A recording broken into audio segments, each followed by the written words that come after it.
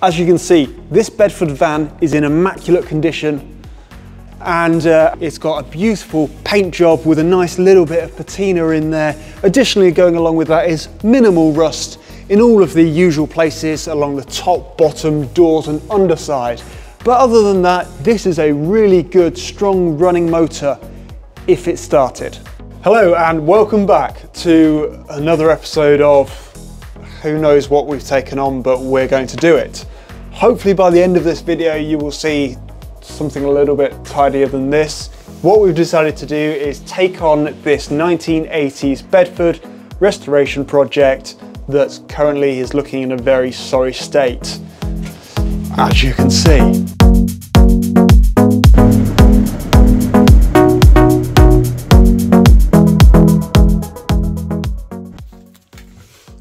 That's one down. Is that one free as well? No? Yep. So uh, I'm going to say that's all rotten. well, I think we're nearly there.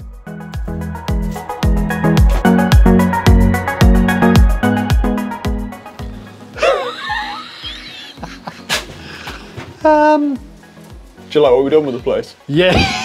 yeah. This is finished then, yeah? Yeah, yeah, yeah. We're almost ready to go back to the customer. Yeah, yeah. Yeah. I think, you know, we might have a little sweep up maybe. Is this original? Yeah. That's not bad, that bit, actually. Yeah. that one bit is all right. Do you like it?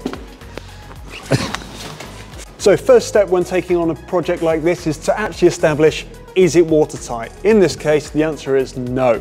So during the water test, this didn't fare all that well.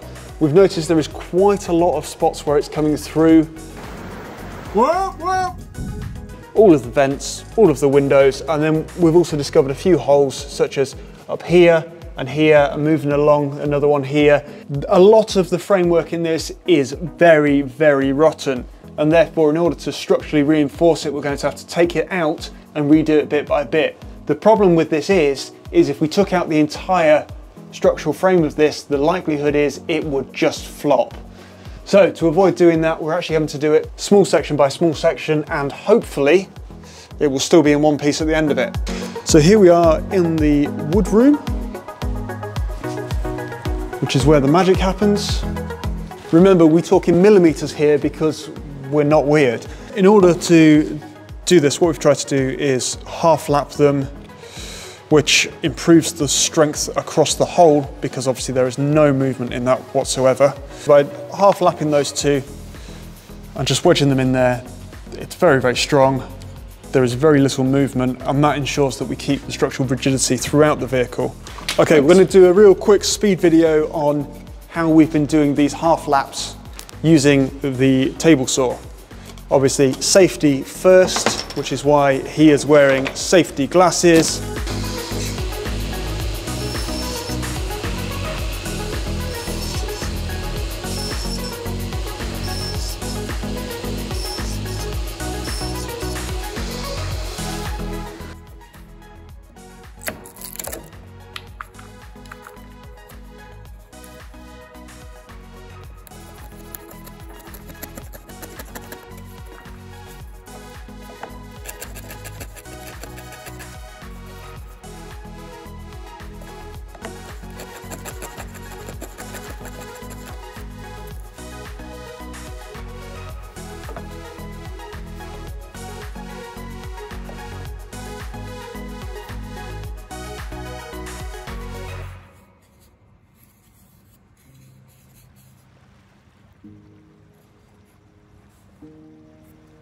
What we started by doing is by replacing this side here, working from the door backwards. We've managed to strip out the entire section and replace that. We've got the framework in for this side, and I'm going to show that time lapse for you now.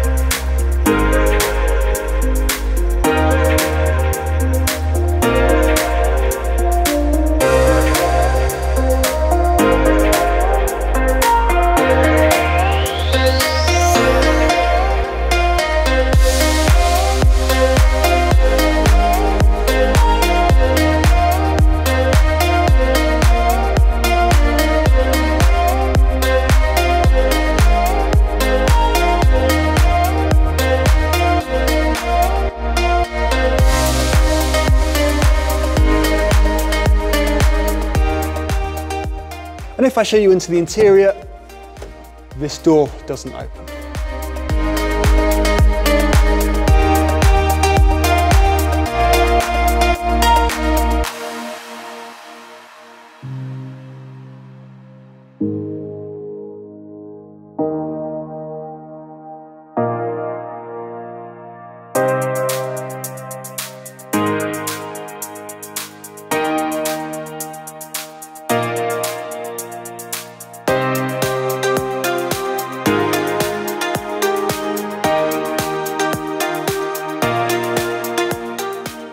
This was part one of our Bedford restoration. Thank you very much for watching. Part two will be available next week. Hopefully in the next video we will be able to show you a bit more of the putting together of the build as opposed to all the stripping that has been involved in this episode. Of the van, not us, just before you get confused. Thank you for all your support. Please like and subscribe. We really appreciate it. Hi, welcome to part two of the Bedford restoration.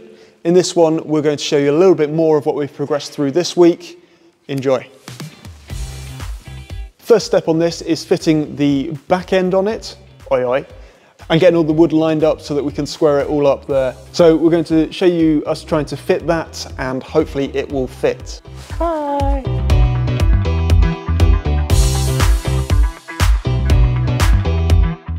I think I might have messed up here. I don't look like it fits, I'll be honest. Oh, oh look, oh, look, oh, look, look, Oh, oh.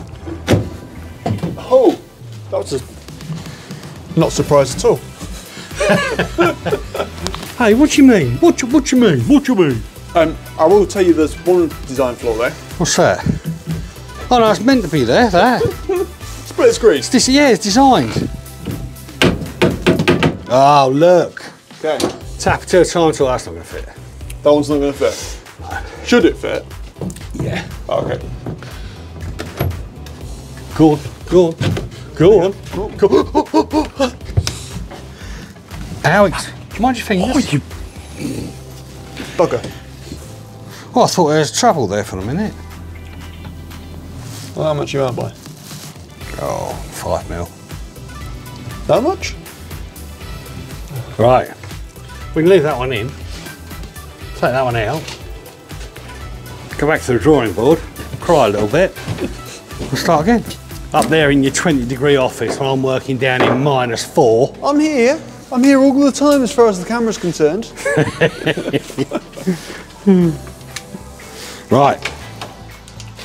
We're going to take it all apart then? Nope. Are you sure? Yep. And there's a good reason for that. Can't be asked. I don't know why you passed me this considering you've still got the pencil. Oh, of course, you wouldn't have one by yourself, would you? What did you want? 18? Yeah. Well, why so, would I need a pencil in my 20 degrees office? oh no, I've said it on camera. Is that seven? I haven't a clue.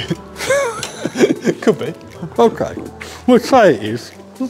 We can always edit it afterwards. it's another day in paradise.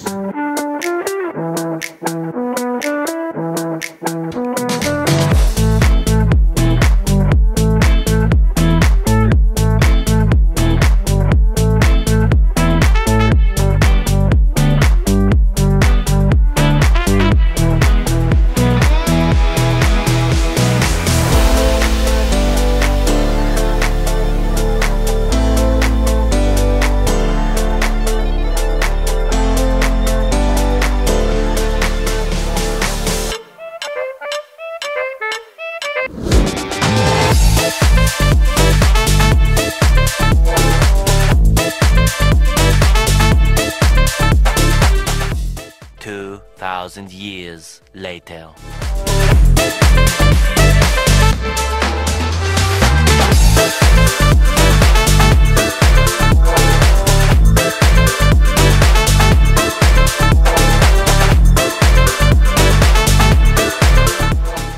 Okay, as you've seen, we've now built the half laps for the back end of the vehicle and we're now going to get that all glued and screwed in place and you will see that time lapse now.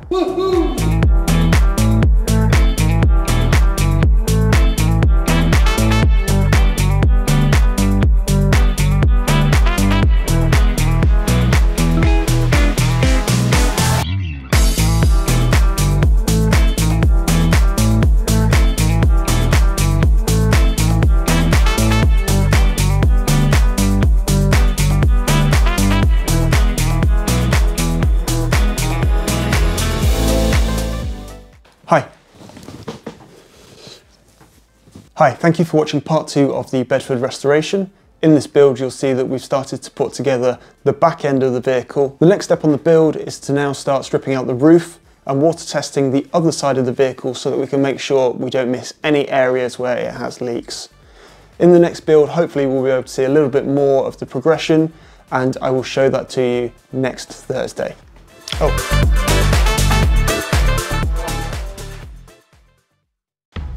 Hi, and welcome to part three of the Bedford restoration build.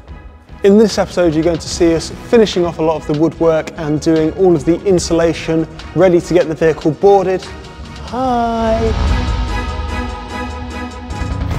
Yep, that leaks. Yep, that leaks. That leaks. Yep. Whoop! That leaks. Uh, well, no, the top half's okay, the bottom half's boring. Oh, thank you. There is a small hole. Right here. Oh, thank you. Oh, yeah, yeah, there's water coming in there. I think there's only 37 holes. We have had to clean the vehicle off slightly. You'll notice it is less green. Over here has had quite the filler patch which has been done with fiberglass filler just to try and get that section watertight.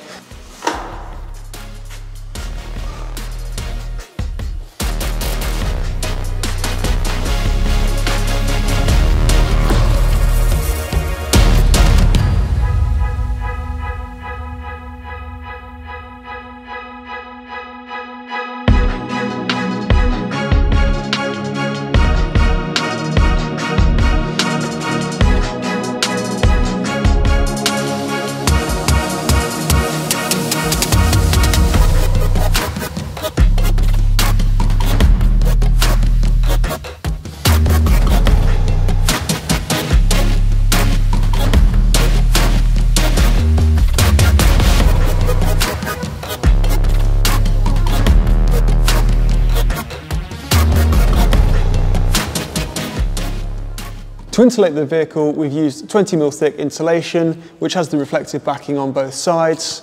And we've been cutting this to the size of the squares and then gluing them in.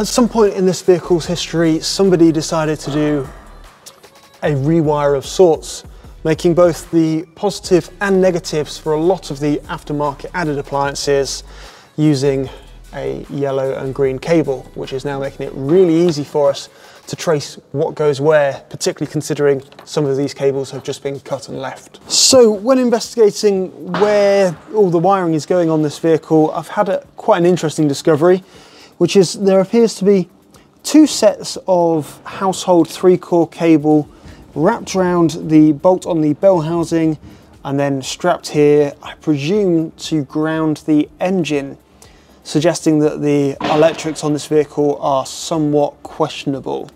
As we move into the engine bay, the attention to detail has been pretty well consistent. We've got some stunning wiring in here, as you can see. Now that all goes off somewhere under the vehicle and to ensure that they've got an appropriate power rated cable they've used a household 240 volt cable. please donate so he can buy new trousers. Thank you for watching part three of the Bedford restoration, which has been this week's progression on the vehicle. As you can see, we've been very busy trying to test this vehicle and get it watertight, as well as getting it insulated, and you will see in the next video us boarding the vehicle out. Thank you for watching, and please like and subscribe. Coming up, Martin wears a hat. Curtis doesn't wear a hat. And Harry wears a hat. Hi, and welcome back to part four. As you can see, it's rather cold in the workshop as I have about seven layers on. Anyway, let's see what happens. Plan A, B, C, and D at this point is to fix all five of these, spread evenly across here, mount them down, and then bend the wood round it, getting it wet and drying it off, and it's going to stay in that curved position and be perfect. Maybe. Probably our first attempt and fail. Let's do it. Well, it hasn't completely bounced back yet. Now it might. There is some curve, but there's not a lot of curve in there at all, is there? How's about we put the ratchet straps around that guy? All right, gents. We'll start with the middle one. Well, it's bending a lot easier. That is flexed a lot more, a lot easier. No pressure there. Almost needs something a little bit more there.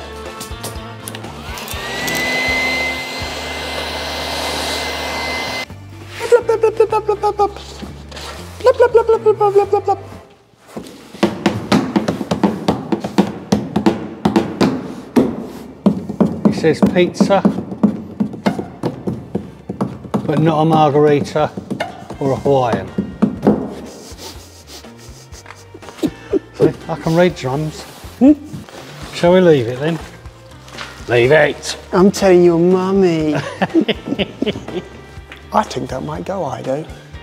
Right, we ready for this? Uh, okay, let's see what happens. What's going on here? Tied around the fire extinguisher. Kurt thought he'd uh, booby trap it for us. yes, too. Oh dear. That Oh, didn't sound too promising, did it? Did something go? Is that it going crack? Yeah, as I loosened this, um, uh, that's gone. Does it? yeah, just pops the. Oh. Yes, it has. What about these then? That's meatloaf says. Two out of three ain't bad. Let's see. I'm not sure he was talking about this though. Meatloaf, well known for his wood bending. Oh, this is fun. is it? No. So we've soaked it, we've heated it, we've glued it. Yeah. What more does it bloody want? So the bit that you fitted's all right, and the bit that I fitted is all right, and the bit that Curtis fitted. In fairness, I fitted it with him, but yeah. Curtis, if you're watching this, you're fired. So how's about we put some mitre bond on it Yeah. and just hold it there for 20 seconds, Yeah, now you're talking my language. and then we'll give it a go at that. Loads of it though. Yeah, yeah. Yeah. Can we also put like a couple of blobs on here just because I'm not 100% trusting? Speed and efficiency! Speed! Oh, oh hey, here we go. Too slow. But spray it quick. Yeah, before it takes my face, you mean? So are we gonna just hold it and push it, or are we gonna do it all professionally and clamp it down and stuff? Hold it and push it then. Well, pencil. Oh. measuring tape.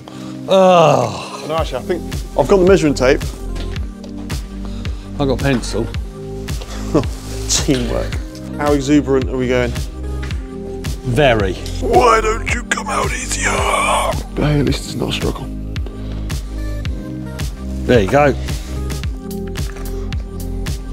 Right, something like that. Uh, have you pulled it up at all? Um, Let's go there. yeah. Right, tell me when you're ready to get your face out of the way. So why do we mess about with all that wood glue in the end? Something to do, wasn't it? Pass the time of day.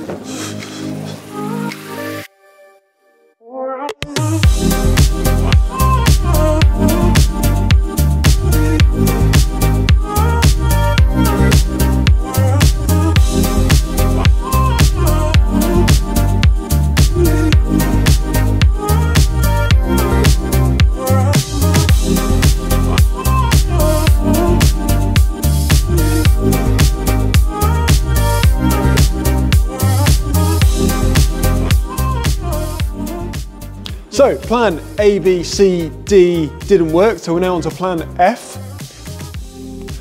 So as plan A, B, C, D, E, F and onwards didn't work, now let's try plan G, which is to route lines into the back of the 3 mil panel and then try and bend it using water again. 13, 14. Hang on, I've got to take the other shoe off now. 16, 17, 18, 19, 20, 21. That's it. I can't count any more than that. Of digits now. Digits.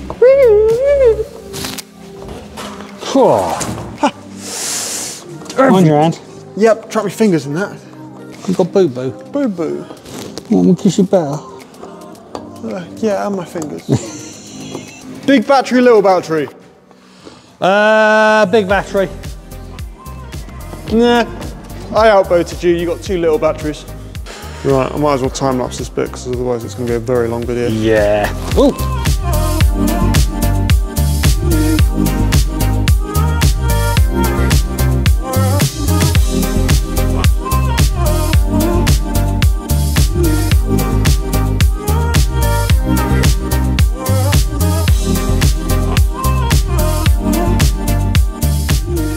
Okay, so now we've routed all this out. The next plan is to get it wet. And hopefully that'll encourage it to just separate a little bit. To just bend a little bit without cracking is the plan.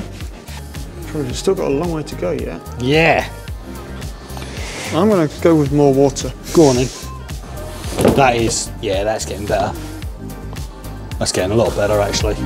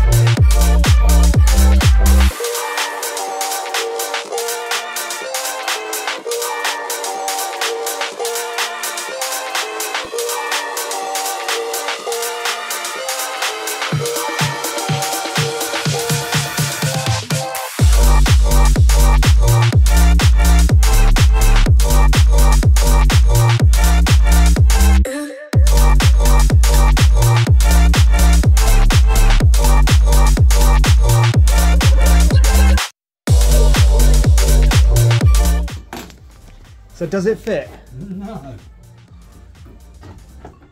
Not even if I wanted it to. I think it's a bit tight. Yeah. Oh, hang on. Oh, Oh, that's better. Obviously, there's a, there's a, yeah, there's something in the wall there. There's a pin in the wall. a bit tight at the top as well. Yeah, that's fine. I'm happy with that. That's all right. But what about the window? Oh, it, we'll do that when it fits.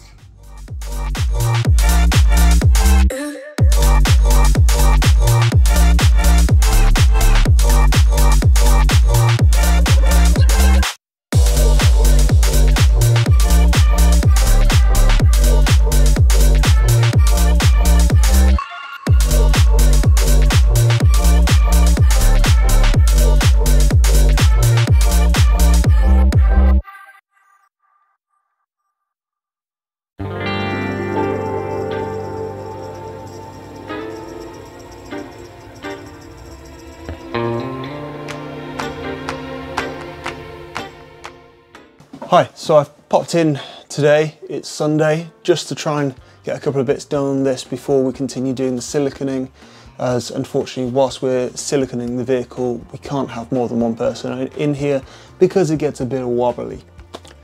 So plan with this is we've sanded off any rough edges, uh, we've painted over it with a bit of hammerite that should hopefully just prevent it from rusting and uh, then we're going to carpet this area and try and make it look a little bit pretty. So I'm going to do that for you now.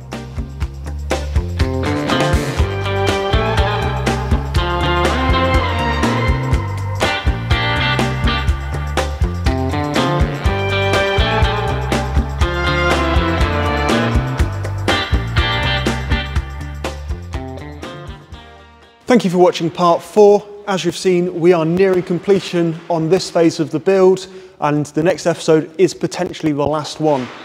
Thank you very much for following the build. If you've enjoyed what you've seen, please like and subscribe. Hi, and welcome to the final part of our Bedford restoration. We have gone as far as we're going to go on working on this vehicle and then the customer is going to take it away and do the rest of the build themselves. However, we're hoping they come back to us to have some of the bits done because we'd really like to see further progress on this vehicle.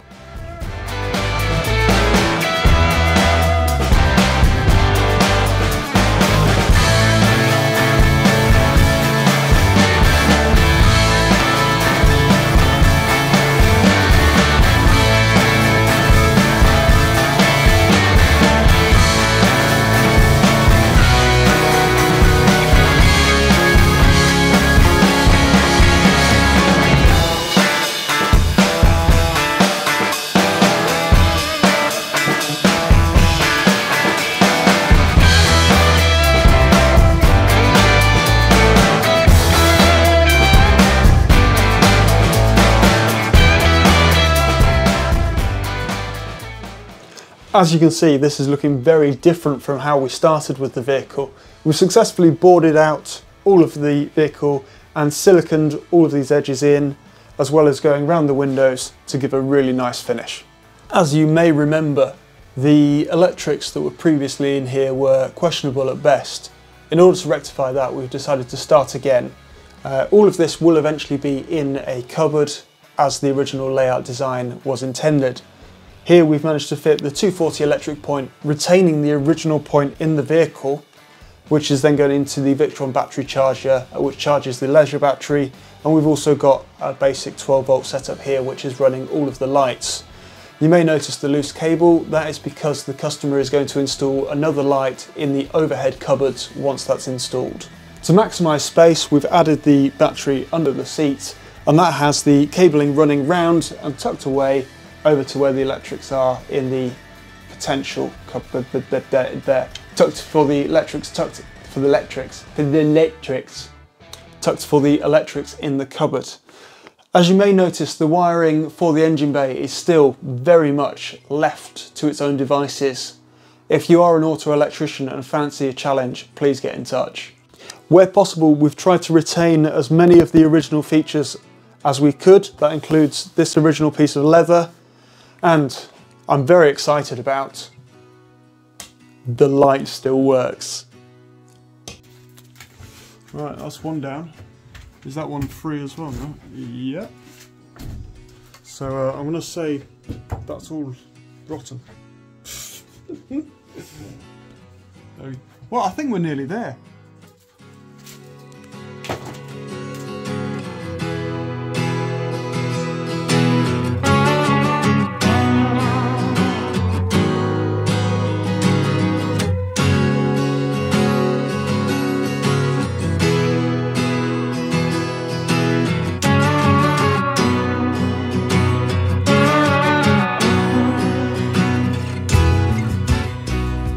After many hours of getting the inside tidied up, we also had to make sure the vehicle was finally watertight.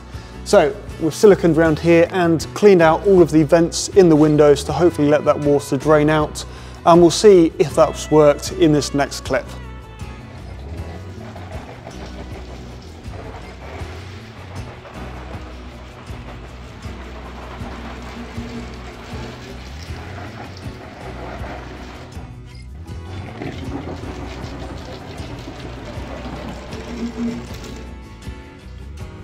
All looks good to me. In addition to the windows leaking, Also the water fill up point, the electric hookup point, all of the vents, pretty much everything on this side was letting water in, including the main fuel cap. Therefore, we've had to take each part out, seal it up, put a new grommet in there and fit it all back again. And thankfully, we now have it all watertight.